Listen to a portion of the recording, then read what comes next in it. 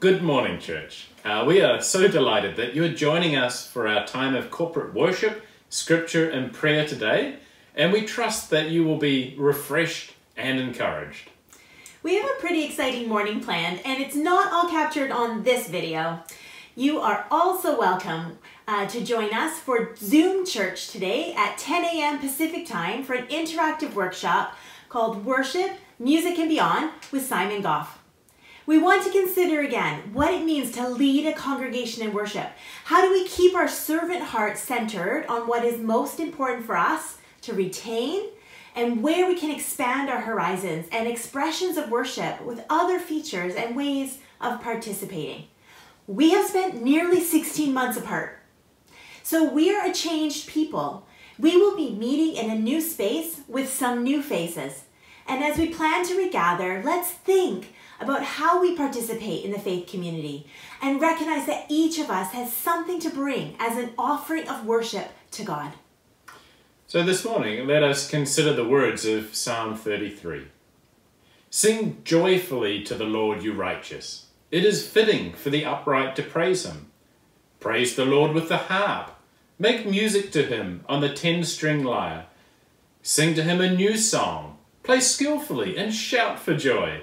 For the word of the Lord is right and true. He is faithful in all he does. The Lord loves righteousness and justice. The earth is full of his unfailing love. By the word of the Lord the heavens were made, the starry host by the breath of his mouth. So let all the earth fear the Lord. Let all the people of the world revere him. We wait in hope for the Lord. He is our help and our shield. In him our hearts rejoice, for we trust in his holy name. May your unfailing love be with us, Lord, even as we put our hope in you. And let's join in a prayer together. Creator, in the stillness of this day, we ask that you will be an oasis for those drawing near.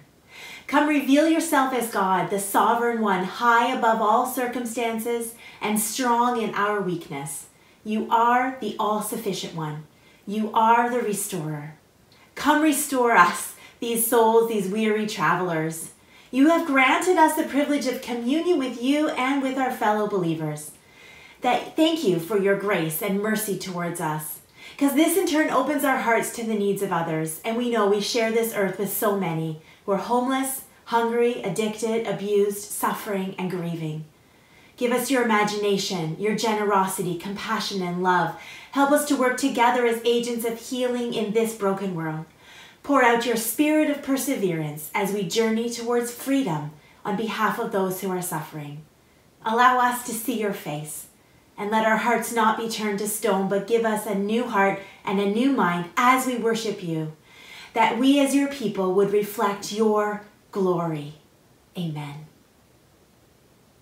Hi, Willows family. Melissa here. I wanted to share a liturgy with you from the book Every Moment Holy, and the name of it is A Liturgy for the Ritual of Morning Coffee. Meet me, O Christ, in the stillness of morning. Move me, O Spirit, to quiet my heart. Mend me, O Father, from yesterday's harms. From the discords of yesterday, resurrect my peace. From the discouragements of yesterday, resurrect my hope. From the weariness of yesterday, resurrect my strength. From the doubts of yesterday, resurrect my faith. From the wounds of yesterday, resurrect my love. Let me enter this new day aware of my need and awake to your grace, O Lord. Amen.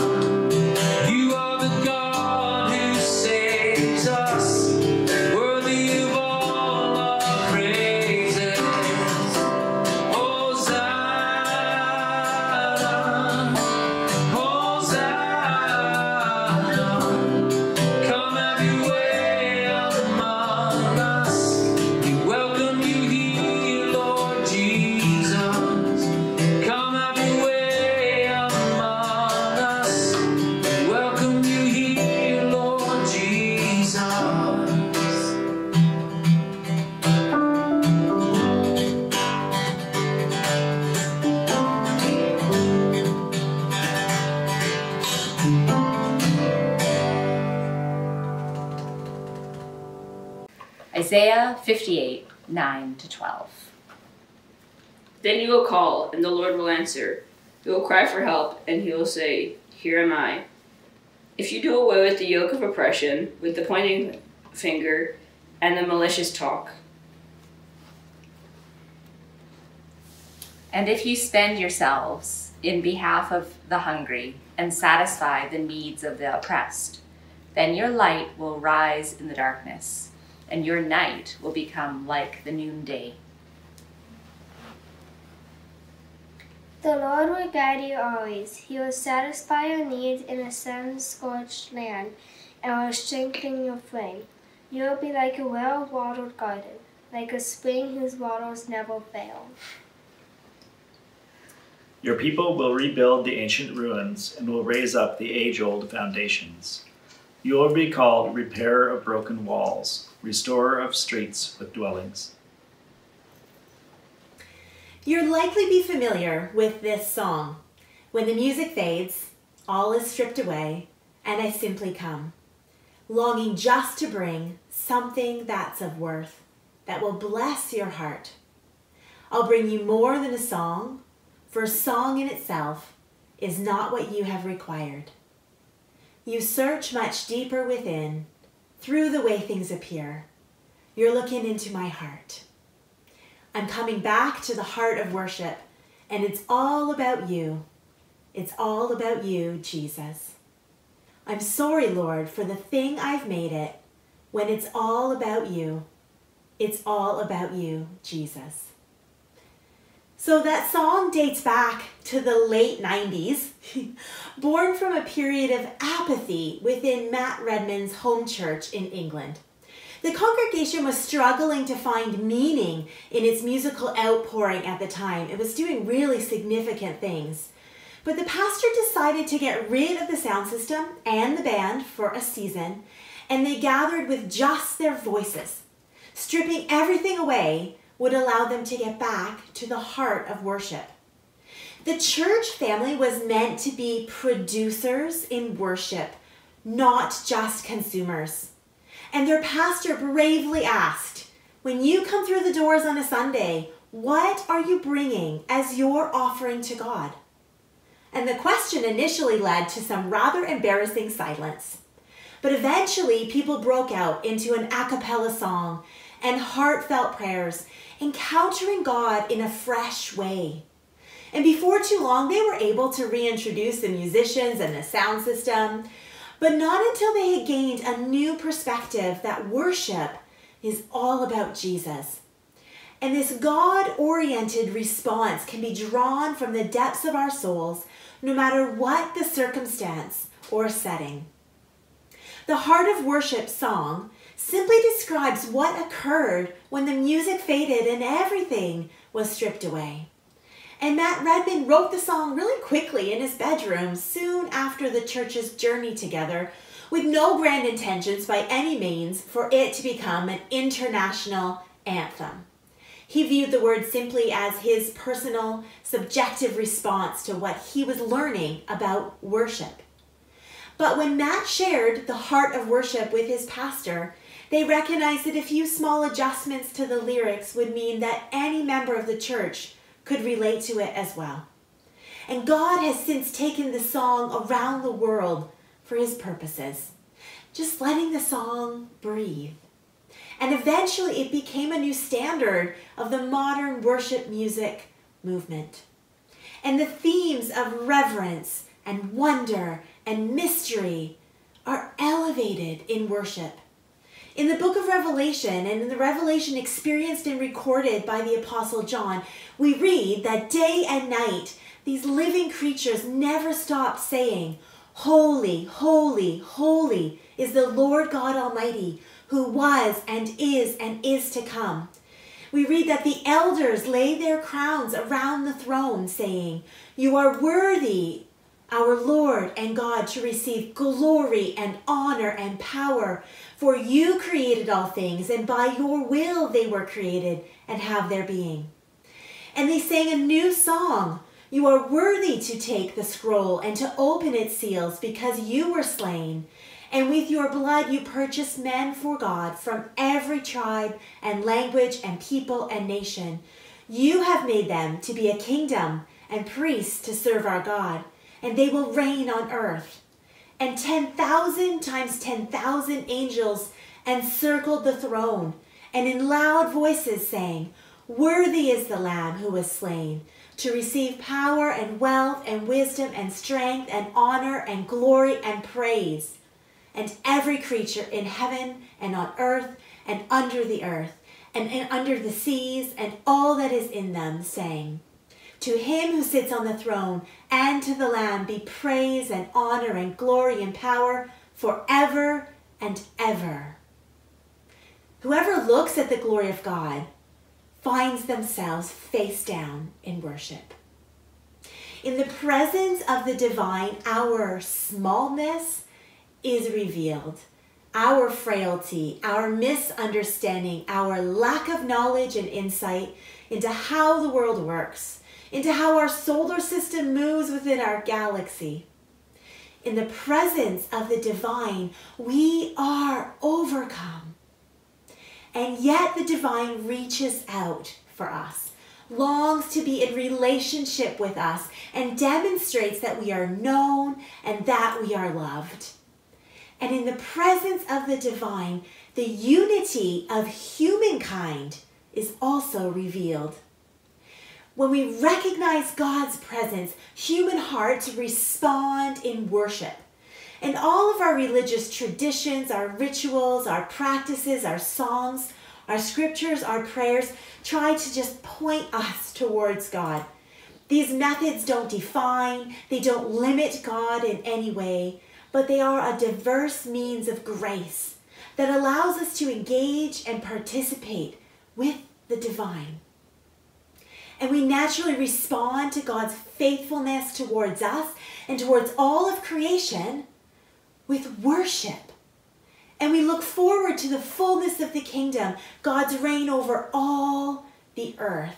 And we long for this, like the Israelite people long to return to the promised land. They long for the freedom to worship and to celebrate again with God's people. And so, over and over, the prophet Jeremiah speaks and writes down the prophecies from God about the end of the exile. Let's read a little bit from chapter 31 of Jeremiah. The Lord appeared to us in the past, saying, I have loved you with an everlasting love. I have drawn you with loving kindness. I will build you up again, and you will be rebuilt, O Israel. Again, you will take up your tambourines and go out to dance with the joyful. Again, you will plant vineyards on the hills of Samaria. The farmers will plant them and enjoy their fruit. And there will be a day when watchmen cry out on the hills of Ephraim, Come, let us go up to Zion, to the Lord our God. This is what the Lord says. Sing with joy for Jacob, shout for the foremost of the nations. Make your praises heard and say, O Lord, save your people, the remnant of Israel. See, I will bring them from the land of the north and gather them from the ends of the earth. Among them will be the blind and the lame, expectant mothers and women in labor. A great throng will return. They will come with weeping. They will pray as I bring them back. I will lead them beside streams of water on a level path where they will not stumble, because I am Israel's father, and Ephraim is my firstborn son. Hear the word of the Lord, O nations, proclaim it in distant coastlands. He who scattered Israel will gather them and will watch over his flock like a shepherd. For the Lord will ransom Jacob and redeem them from the hand of the stronger than they. They will come and shout for joy on the heights of Zion. They will rejoice in the bounty of the Lord. The grain, the new wine, and the oil, the young of the flocks and herds, they will be like a well watered garden, and they will sorrow no more. Then maidens will dance and be glad, young men and old as well. I will turn their mourning into gladness. I will give them comfort and joy instead of sorrow. I will satisfy the priests with abundance, and my people will be filled with my bounty, declares the Lord. No matter what we journey through, ultimately we cling to this hope that God sees and that God cares and that God will set things right. Amidst the heartache, amidst the sorrow, and amidst the turmoil, our hope is in God. And when we experience the presence of God and catch just this glimpse of God's perspective, our unity as human beings is revealed. We recognize our connection to others, and we are unified in this longing to worship, longing to celebrate, to relax, and to know that all manner of things shall be well. A time when goodness and mercy will flow. And yes, we recognize that we haven't arrived there yet.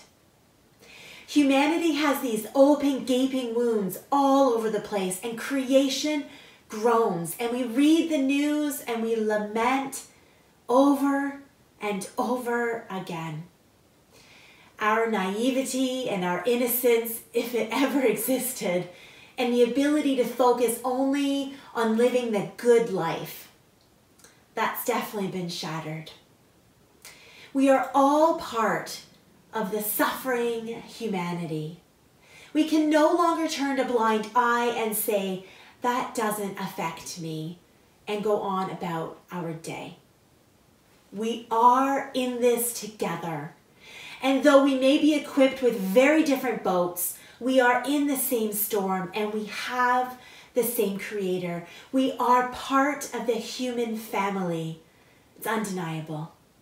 We are connected with the grieving of the indigenous peoples over their missing and murdered children, the genocide of their people over seven generations. We are connected with the grieving Muslim family in Ontario who are targets of a hate crime. We are connected with the billions of people around the world still waiting for their chance at a vaccine. And we say, Lord, have mercy. Christ, have mercy. Lord, have mercy. Because often all the other words simply fail us.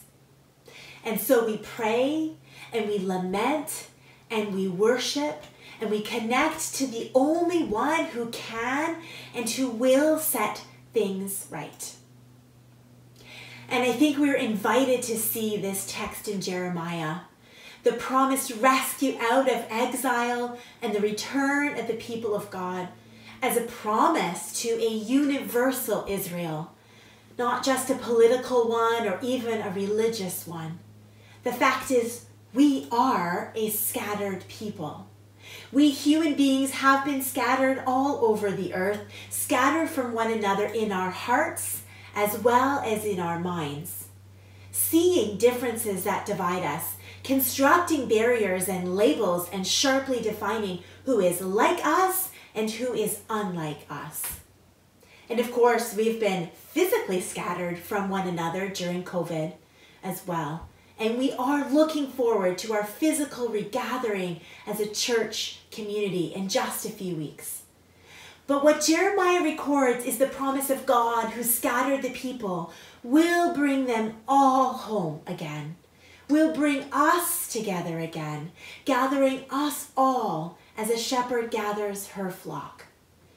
This is not expected to be a neat or really easy homecoming Someone once described the kingdom of God as a glorious mess, a holy confusion, an improvisational dance, a long and unpredictable jazz riff in which every person is an instrument.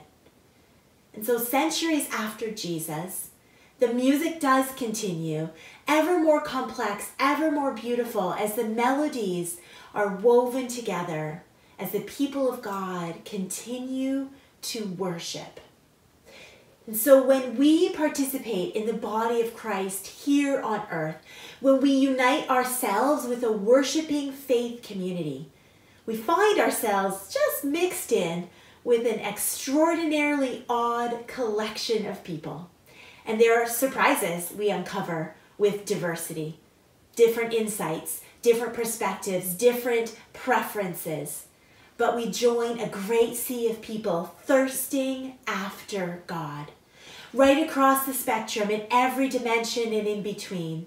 Yes, differences in ethnicity, age, education, ability, politics, economics, gender, sexuality, family status, employment, and language.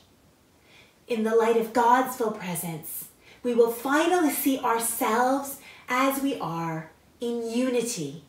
And we see the reality of the relationship between humanity and the divine, and how we are all God's children.